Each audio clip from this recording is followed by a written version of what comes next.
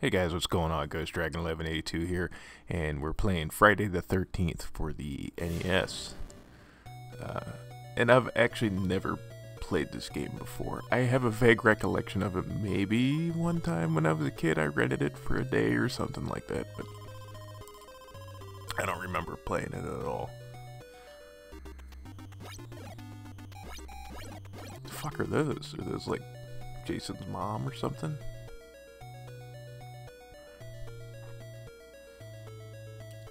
Navigation in the cabins is terrible. Okay, we have a lighter.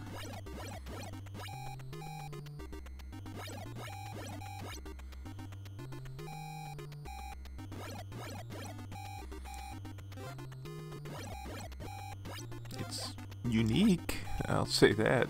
It doesn't seem like it's very hard. I'm fucking lost now.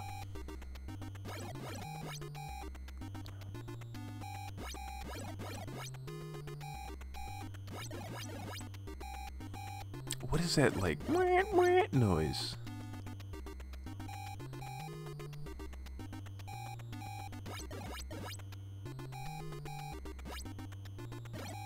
Oop.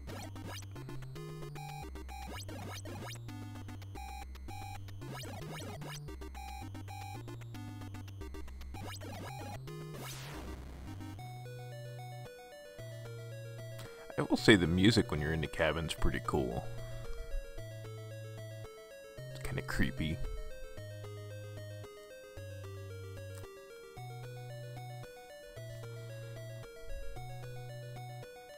There's nothing in these fucking cabins.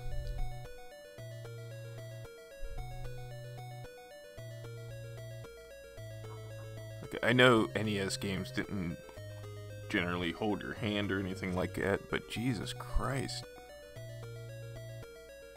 Outside of lighting some torches, that's all I, or lighting some fireplaces, that's all I know that I gotta do. Uh, I'm assuming I gotta kill Jason too.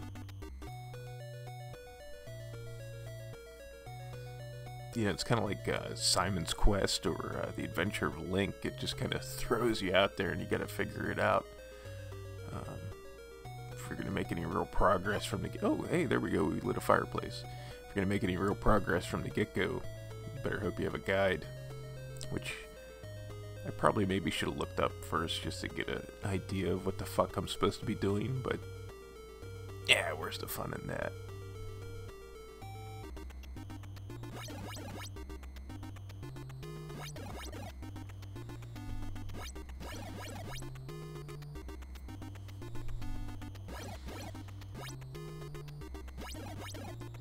This knife fucks them bitches up.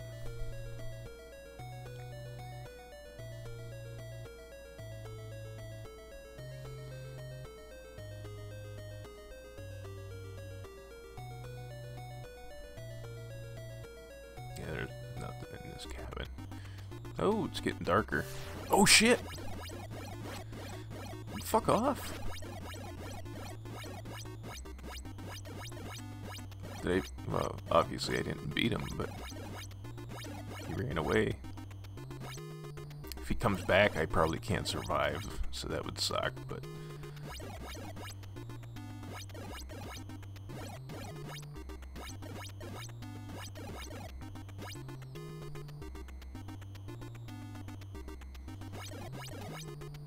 so do I just, like, do I have to find him and kill him? Do I... I have no idea what's going on in this game.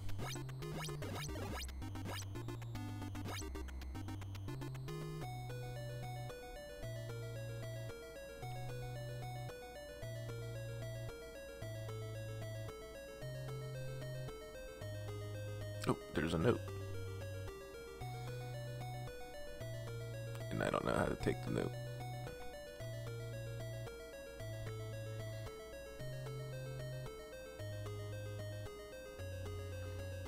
Guess you, I thought maybe you walked over it.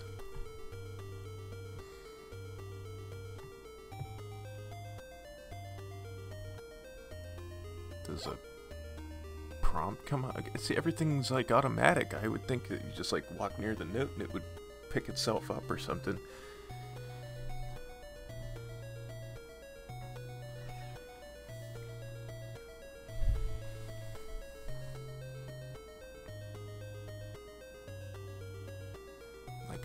I'm hitting B and A, nothing's happening. I don't know. Man, oh, that was such a Phil moment there. I'm hitting buttons, nothing's happening.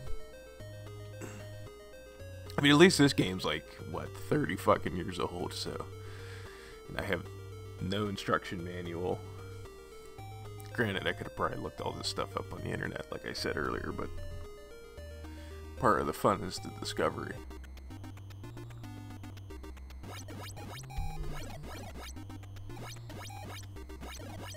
Fuck is that countdown for? Hey, there we go.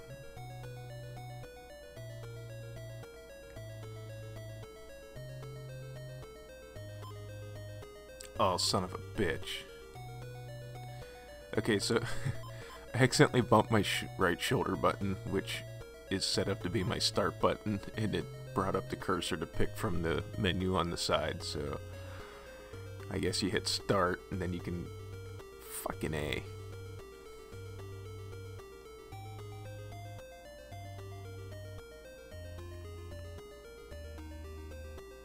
Guess that makes sense. Usually you hit start to bring up a menu.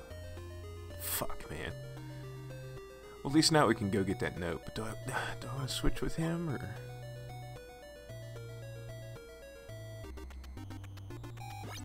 Oh shit, I got the rocket. I read the screen wrong. okay, well let's get the note, and then uh, we'll go switch with him again, get the knife back, or maybe we'll just use him.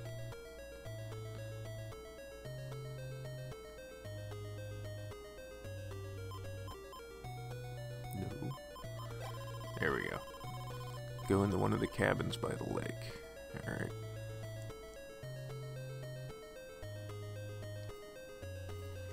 Fucking song is so good. I like that.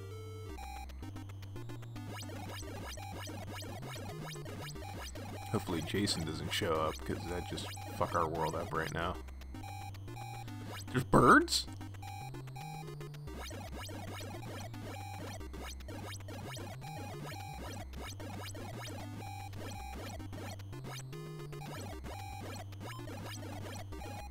What's that? That's pretty cool.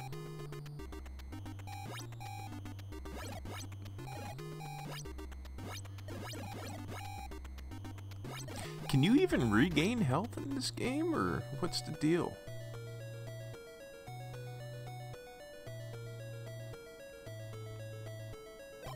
Hey, we lit another fireplace. Cool.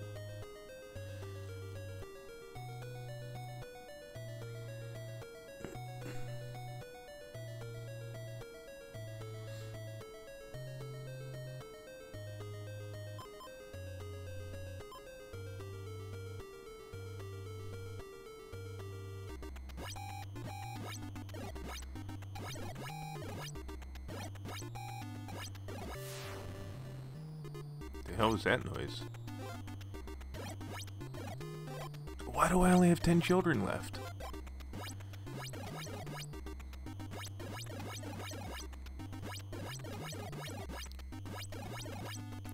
Unless...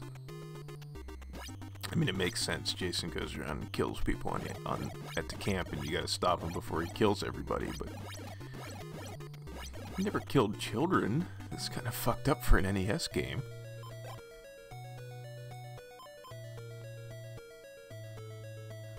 Despite the fact that I have no clue whatsoever what I'm fucking doing, the game does kind of have some kind of... It has a, like a little bit of a charm to it, I'll, I'll give it that. But, uh... If I'm gonna play this again, I definitely need to, like, read a walkthrough or... Like a Friday the 13th for Dummies thing because I have no fucking clue what I'm supposed to be doing or uh, how I'm supposed to be accomplishing anything in this game other than oh shit I got the rocks again. Other than uh, lighting the fireplaces.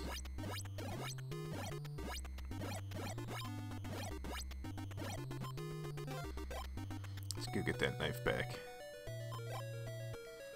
I keep fucking up there because I'm used to like having it on the bottom. Because like my inventory is on the bottom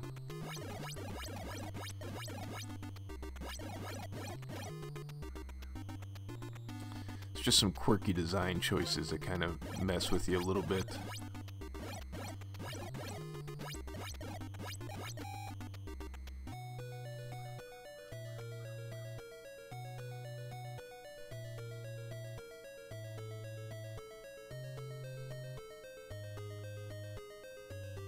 No fireplace. Okay, why is there a countdown up at the top by my lives?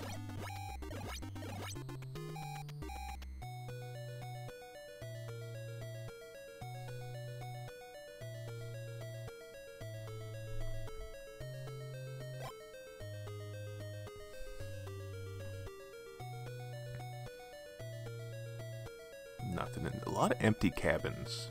Nothing in them. Let's see.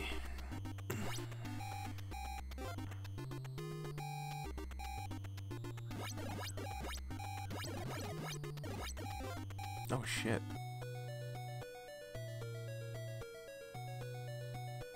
There really ain't shit in that cabin.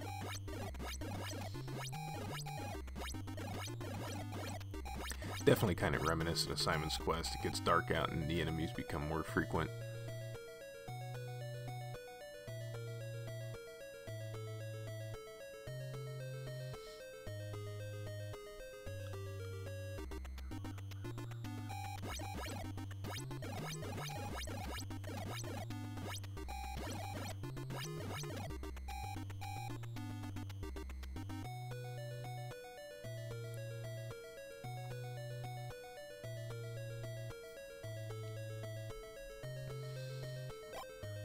Navigation in the houses or the cabins is terrible. Oh my god, it's so bad.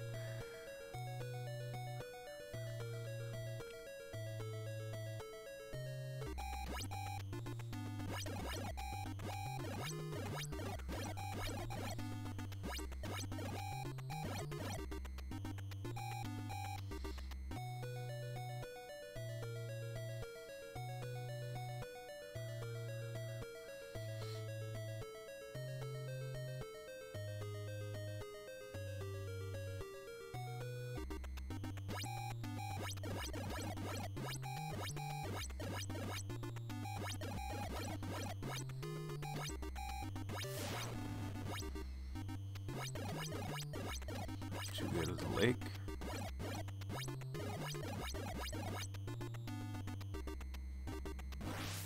Oh, I'm on a boat. What the fuck are those? And birds? That's fucked up.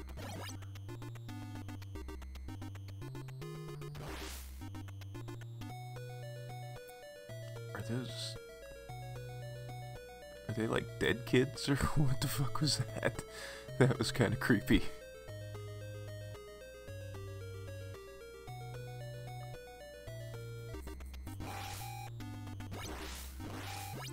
I lost a life.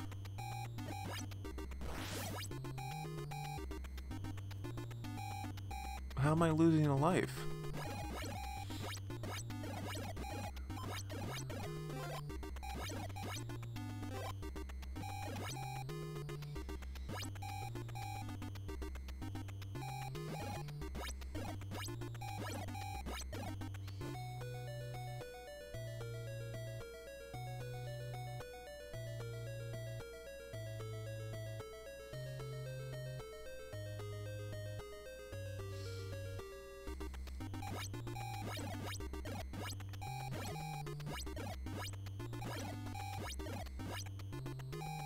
Not sure what this weapon is, but it kicks ass.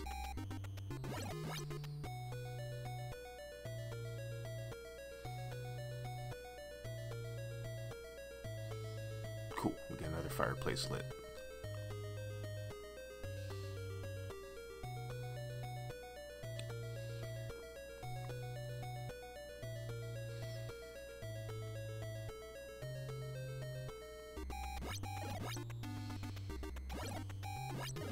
Alright guys, at this point in the video, I kind of like, I don't know if I just like brain farted and didn't talk for the rest of it or what, but I had like absolutely nothing to say other than a couple fucks here and there. Um, as I'm sure you've been able to notice, I have no fucking clue what the hell's going on in this game or what the hell I was supposed to be doing. Um, but what I eventually discovered is that the uh, is Jason is walking around the camp killing children for some reason, and the little heads at the top there with the blinking red circle next to it. Well, now it's not blinking anymore. Is the other counselors that you can pick from, and he's also killing them. And when that like little alarm goes off, you're supposed to hit start and bring up your map, and whatever cabin's blinking, that's the cabin that Jason's in, getting ready to either kill children or a counselor. I didn't know this. Um, and essentially, the what you're supposed to do is you have to light all these. Well, you don't have to light all of them, but you have to light an X amount of fireplaces so you can get a torch. So the hint at the beginning of the game is incorrect. You don't use a torch to light the fireplaces. You get a torch by lighting the fireplaces, and uh, you're supposed to get progressively stronger and stronger weapons until you can eventually defeat Jason. Uh, you will encounter him in cabins where uh, he is trying to kill counselors, and you have like this kind of like Mike Tyson's punch out type of thing going on where you can like sort of dodge his attacks, and then you gotta like throw your weapon at him and stuff, and you'll beat him temporarily. Now, I'm not sure how to beat him permanently or anything like that. Um, and apparently, there's a section where uh, if you've seen, I picked up a key a couple times where you get the key, you go to a cave, and you work your way through a series of caves, or you work your way through the cave system, and then you can uh, fight Jason's mother's floating disembodied head. Uh, yeah, the game's weird, and those dogs or wolves or whatever they are, insanely overpowered. but uh, it's qu- well, you know what? I don't even want to say it's quirky. It's I didn't hate it. I mean, it was kind of fun trying to figure out what to do.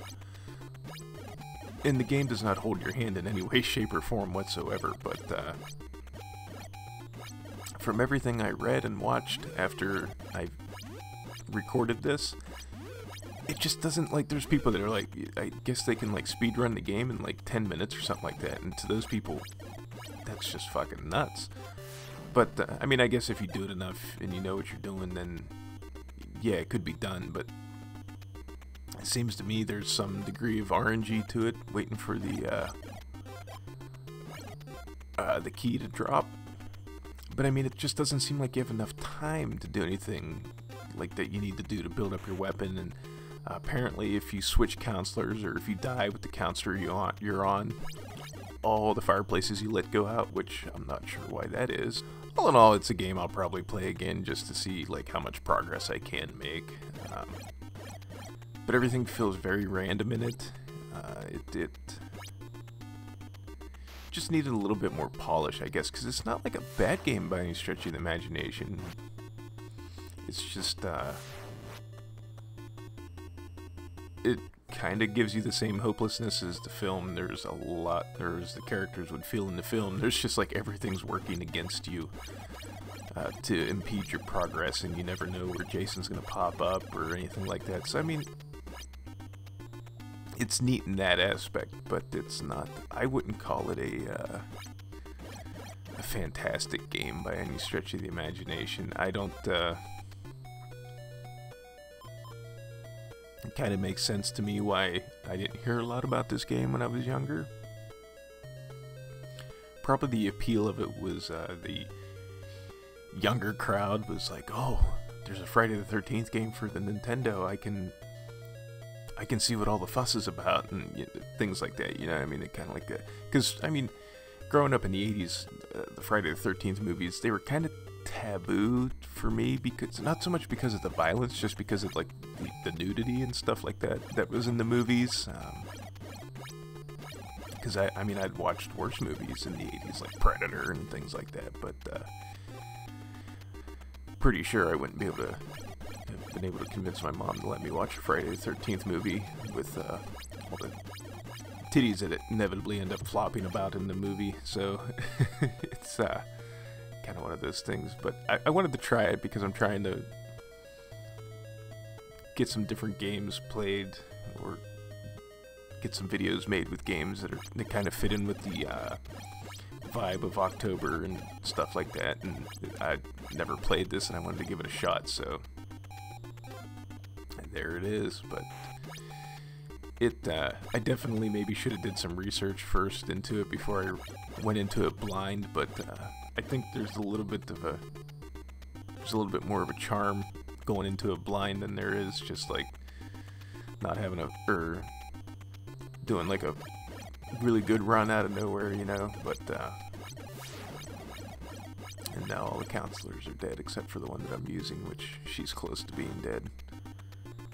But at any rate, if you have a means of playing this game, it's worth checking out just once just to see what it is and what it's like. It's not like I said, it's not bad, and I I didn't not have fun. I just uh, I wasn't entirely frustrated. It was still kind of fun running around killing these zombies or whatever. But uh, yeah, definitely grab a walkthrough before you give it a go. But at any rate, guys, I want to thank everybody for watching, and we'll see you in the next video. All right, have a good one.